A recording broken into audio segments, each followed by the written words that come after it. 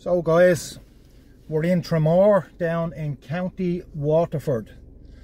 That was the next place after um, when we done Rosslare Harbour.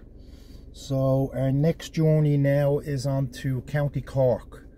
Um, the reason why I'm talking in the car today on this video is because uh, it's very very windy out there today.